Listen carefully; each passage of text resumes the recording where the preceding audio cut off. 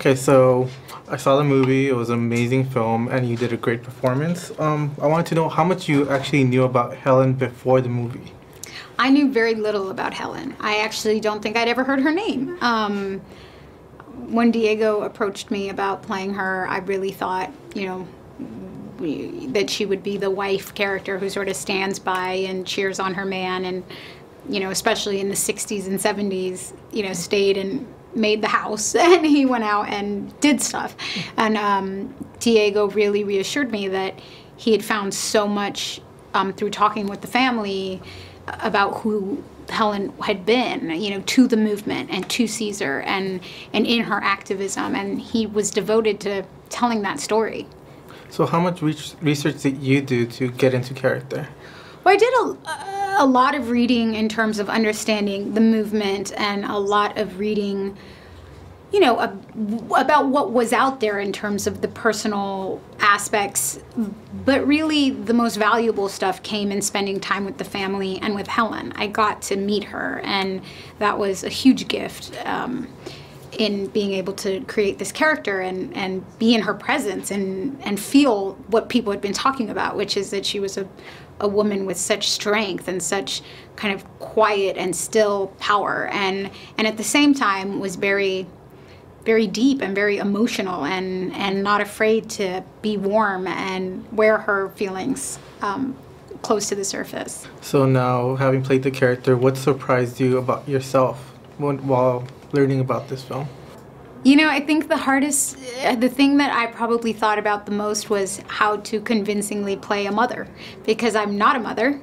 Um, I certainly have a lot of young kids in my life who um, I feel motherly towards, but playing that essence and the air of being a mother for me was was the biggest reach. Um, so I spent, you know, uh, I, I tried to, you know, dig into the parts of me that that um, that were in any way connected to to those feelings. How do you connect with this character? How much of you is in this character? I think there's a lot of me that can that that is connect feels connected to this character.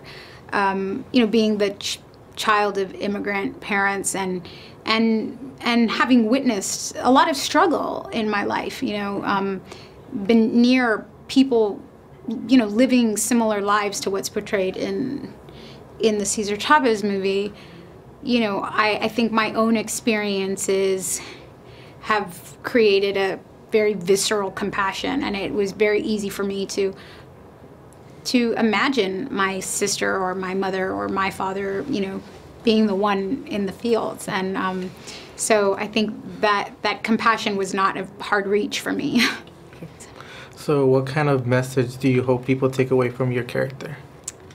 I think that particularly from Helen, you know, um, I, I would love for her to stand as a role model to women, you know, to to um, to be able to show that there are so many ways in which women are capable of contributing and you know and and also that that it's possible to to tell those stories and to not um, when we tell the stories about our history to not let those stories the women's stories kind of disappear in the background because, like I said, it would be just as easy to create a sort of stick figure wife and have her play the role of wife.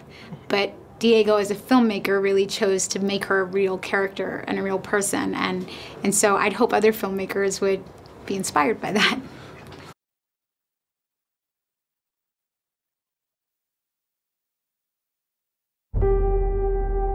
Farm workers in Delano, California have begun an unprecedented strike in the Central Valley. We believe the United Farm Workers and their leader, Cesar Chavez, represent the hope and aspirations of the vast majority of farm workers. Every American has a stake to bring about social change within the system. So who the hell is this Cesar Chavez? Yeah, I heard he's Mexican. Seems a safe bet. I'm angry that I live in a world where a man who picks your food can't feed his family. We don't need you. We want you back to Mexico. Get the hell out of our country. What do you think you're looking at, huh? The citizens of Delano, they respect the law. So do we, especially the Bill of Rights. Have you seen the headlines they're getting? That's costing us real money, Mr. Bogdanovich. We don't have to negotiate. We have to dictate terms. Last report estimates that we've cost them $17 million. We can't hold on much longer. We're gonna break this damn strike. We have no laws to protect us here. What if something happened to us? With the boycott, there are no laws to stop us. What would happen to the kids? This is about being a man. What are you doing? I'm standing up because somebody has to. Chavez! This is the moment, Cesar. This is what we came here to do. You